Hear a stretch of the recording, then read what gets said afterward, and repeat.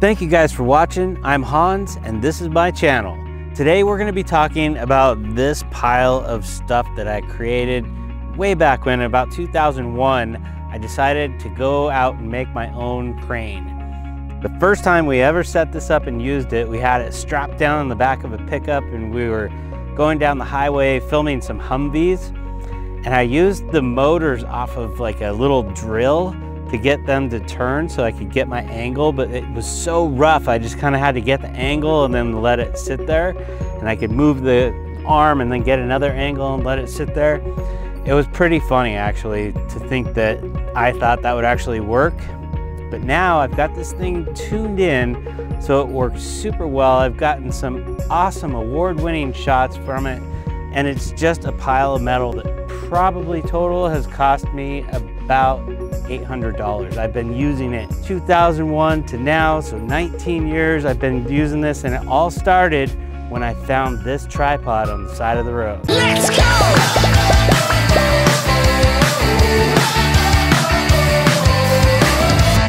Actually, I didn't find this tripod.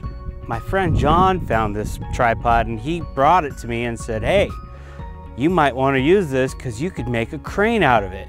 And it's actually one of those survey tripods that they use. And I was like, it's not gonna be strong enough, but I actually drilled some holes and put some bolts in here and it's plenty strong. It has been in some situations where I thought for sure it was gonna fold up and just collapse with tons of weight on it, a huge camera, and it has never even flexed or done anything to make me worry. So I'm super confident in this tripod, the way that I have it set up. I wouldn't rely on these clamps that are here by any means because it's not gonna handle it. But like I said, I drilled a hole all the way through the whole entire arm right here and I stuck a pin that sticked all the way through both of those pieces of tubing. And then we designed a top for it right here where the arm sits and I'm gonna put this whole thing together hopefully in about three or four hours. The light's gonna be perfect. This takes about a half hour to put together and get it dialed in. So I'm gonna do that and I'll show you all the pieces. I made this dolly for it as well because I didn't wanna have to tear the whole thing down to move it 10 feet and then get another shot.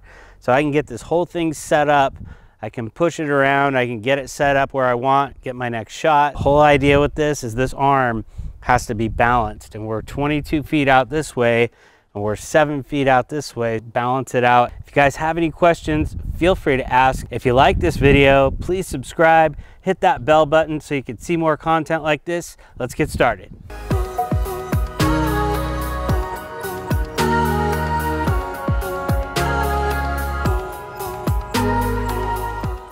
So I made this thing so it would just slide together. So I have these little seven foot sections and each one of them has a little end on it. So they just slip together. And I had to custom make this because there's not really anything that make that is that size. So we had to design that and make it ourselves. And then I put holes in here and I've got these little pins that just drop right down into that hole and they lock it in so those won't come back out. So these are my cable stanchions that also allow me to hook these two pieces together so there's no way that they're ever gonna come apart. The tension on these cables is definitely enough to hold it together, but I kind of overdo things sometimes. And then we've got another cable that sits right here that comes out this way and it goes down to keep any side-by-side -side movement going.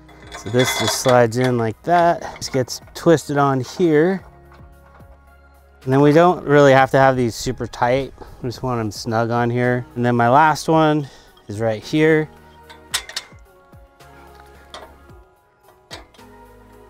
We've added that, that, and that, and that's basically holding these pieces all together.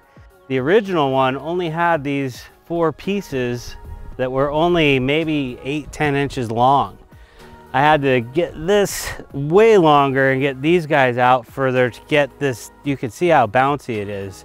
So when you have a big camera on the end and that thing starts doing that, it's not good. So this actually tightens everything up and it's super rigid. When I built this, I did not have any money at all. So it was like every cent that I had went into building this.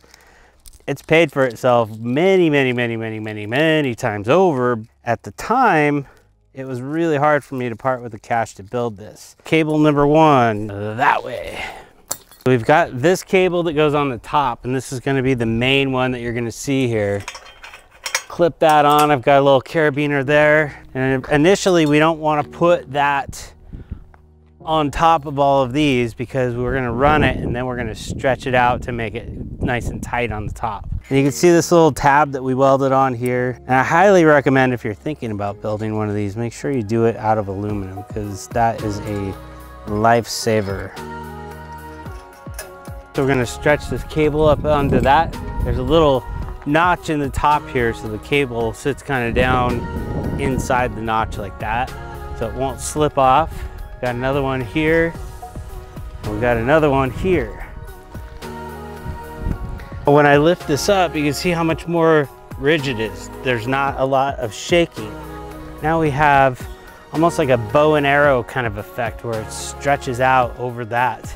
We're not getting any side to side, we're not getting any up and down, so those cables are really doing a good job of stabilizing this thing so that we get rid of this bounce that we see underneath. It takes a little bit of time to set it up, but the sun's getting a little better. It's not so harsh now. It's gonna be better and better and better. We're gonna get a really nice sunset shot here. Well, I got my weights on, I got my cables on. Just wanted to kind of touch in here and let you guys see how little pressure this takes to actually move it now. And I had to put a pair of pliers right here to keep it from coming up. So this is all the weight that it would take. Now you can see it's moving up on its own. But look how smooth that is. That's like a really nice move that you could actually really control. And then we're gonna go ahead and put, I don't know, this is gonna be weird. Whoa. We're gonna put the camera on that end right there. So I have this one set up right now so that I can put a gimbal on the end of it. So obviously when I get that much more weight here, I'm gonna need to add some more weight get that to lift up there. I did build a head for this that runs off of a remote control and a battery. So I can be sitting back there watching my shot and I can be moving the camera as I'm moving the jib. It usually takes two people to get it to work really well. If you want to get really, really clean, good shots, it's a two person job for sure. So this is the head that I had designed and this has been through many, many, many, many revisions. It used to be, like I said, these little parts up here, these parts down here were meant to hold these motors from a drill that I'd found. And we were just doing left and right and we didn't really have a potentiometer that would slow them down and speed them up. So then I had to gear these servos down. So I got these big gigantic gears and I got these little gears and this took a long time. This was probably two years in the making getting this thing tuned in, but this thing works so good now.